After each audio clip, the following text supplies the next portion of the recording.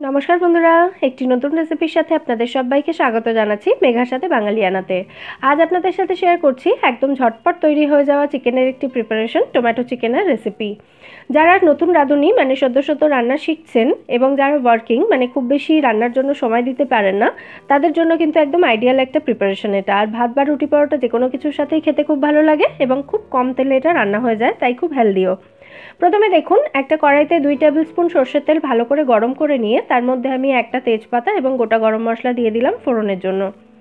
একটু নাড়াচাড়া করার পর যখন গোটা গরম মশলা সুন্দর গন্ধ বেরোতে শুরু হবে, তখন এর মধ্যে দিয়ে দিতে হবে চারটে মিডিয়াম সাইজের পেঁয়াজের কুচি। পেঁয়াজটা খুব বেশি ভাজা যাবে না, কারণ তেল খুব বেশি দেওয়া নেই এতে। তাই পেঁয়াজটা নরম হয়ে যাওয়া পর্যন্ত এটাকে একটু হালকা করে ভেজে নিয়ে এর মধ্যে দিয়ে দিতে হবে চিকেনের পিসগুলো আমি এখানে আটশো গ্রাম চিকেনের পিস নিয়েছি, আর চিকেনটাকে খুব ভালো করে ধুয়ে শুধুমাত্র জল ঝরিয়ে রেখেছি। চিকেনটা কিন্তু কোনো কিছু দিয়ে ম্যারিনেট করা নেই। আর যেহেতু এটা ম্যারিনেট করা নেই, তাই চিকেনটাকে প্রথমে খুব ভালো করে ভেজে নিতে হবে। দেখুন, পাঁচ সাত মিনিট নাড়াচাড়া করার পর চিকেনটা একদম কালার ফেড হয়ে গেছে, একটু সাদা সাদা হয়ে গেছে এবং ওপরটা একটু ব্রাউন ব্রাউন হয়েছে। এর মানে কিন্তু চিকেনটা খুব ভালোভাবে ভাজা হয়ে গেছে। এরপর এর মধ্যে দিয়ে দিচ্ছি দুই টেবিল স্পুন মতো আদা রসুন বাটা। আদা রসুনটা দেওয়ার পর আদা রসুনের কাঁচা গন্ধ চলে যাওয়া পর্যন্ত আবার এটাকে চিকেনের সাথে ভেজে নিতে হবে। যেহেতু কোনো রকম ম্যারিনেশন নেই, তাই এই ভাজা এবং কষানো এই দুটোর ওপরেই কিন্তু এই রান্নার টেস্টটা ডিপেন্ড করছে। এরপর দিয়ে দিচ্ছি এর মধ্যে দুটো বড় সাইজের টমেটো বাটা। যেহেতু টমেটো চিকেন টমেটোর পরিমাণটা একটু বেশি। সাথে দিয়ে দিচ্ছি এক স্পুন হলুদ গুঁড়ো, এক স্পুন কাশ্মীরি লাল লঙ্কা গুঁড়ো, ধনে গুঁড়ো হাফ স্পুন আর স্বাদ মতো নুন।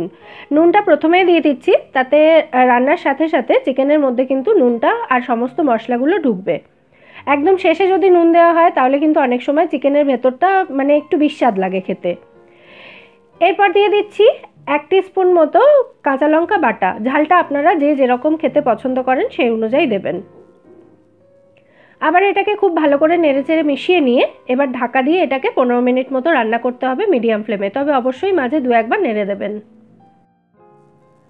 প্রায় পনেরো মিনিট ধরে এটাকে কষিয়ে নেওয়ার পর দেখুন যেটুকু সামান্য পরিমাণে তেল দিয়েছিলাম সেটাও এখন উপরে উঠে এসেছে। তার মানে চিকেনটা খুব ভালোভাবে কষানো হয়ে গেছে। এইভাবে সমস্ত মশলা মিশিয়ে দিয়ে ভালো করে নাড়াচাড়া করা মাঝে মধ্যে। এছাড়া কিন্তু এই রান্নায় খুব একটা বেশি ঝামেলার কিছু নেই। এরপর এর মধ্যে দিয়ে দিচ্ছি একটা মিডিয়াম সাইজের ক্যাপসিকাম কুচি। ক্যাপসিকাম অসাধারণ একটা টেস্ট অ্যাড করে এই রান্নায়। তবে কেউ যদি না দিতে চান, তাহলে স্কিপ করতেই পারেন, কোনো অসুবিধা নেই তাতে। ক্যাপসিকামের কাঁচা গন্ধ চলে যাওয়া পর্যন্ত এটাকে একটু নাড়াচাড়া করে দিচ্ছি জাস্ট মিনিট দুয়েক মতো। তারপর এর মধ্যে দিয়ে দিচ্ছি সামান্য একটু জল। যে যেরকম গ্রেভি রাখতে চান, সেই অনুযায়ী জল দেবেন। আর যদি কেউ শুকনো শুকনো করতে চান এটাকে, তাহলে জলটা নাও দিতে পারেন। এবার এটাকে ঢাকা দিয়ে রান্না করতে হবে মিডিয়াম ফ্লেমে মিনিট দশেক বা চিকেনটা পুরোপুরি সেদ্ধ হওয়া পর্যন্ত। দশ মিনিট রান্না করার পর দেখুন চিকেনটা হাড় থেকে ছাড়তে শুরু করেছে, তার মানে চিকেনটা খুব ভালোভাবে সেদ্ধ হয়ে গেছে।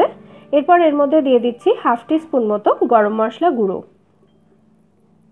আবারও খুব ভালোভাবে নাড়াচাড়া করে গরম মশলাটা এর সঙ্গে মিশিয়ে দিচ্ছি। আমাদের রান্না কিন্তু এখানে অলমোস্ট রেডি এবার গ্যাসটা অফ করে দিয়ে এটাকে ঢাকা দিয়ে দু মিনিট রেখে দিতে হবে স্ট্যান্ডিং টাইমে, যাতে গরম মশলার ফ্লেভারটা এর মধ্যে মেশে। দু মিনিট পর আমাদের টমেটো চিকেন এখানে সার্ভ করার জন্য একদম রেডি। গরম ভাত, রুটি, পরোটা, লুচি অথবা ফ্রাইড রাইস বা বাসন্তী পোলাও যে কোনো কিছুর সাথেই কিন্তু অনবদ্য খেতে লাগে। অবশ্যই ট্রাই করবেন এবং আমায় জানাবেন এই রেসিপিটা আপনাদের কেমন লাগল। রেসিপি ভালো লাগলে ভিডিওটাকে লাইক এবং শেয়ার করবেন। আর প্লিজ আমার চ্যানেলটা সাবস্ক্রাইব করে নেবেন যদি এখনও না করে থাকেন। ফিরে আসব নতুন কোনো রেসিপি নিয়ে। সবাই সুস্থ থাকবেন, ভালো থাকবেন এবং সবাইকে ভালো রাখবেন।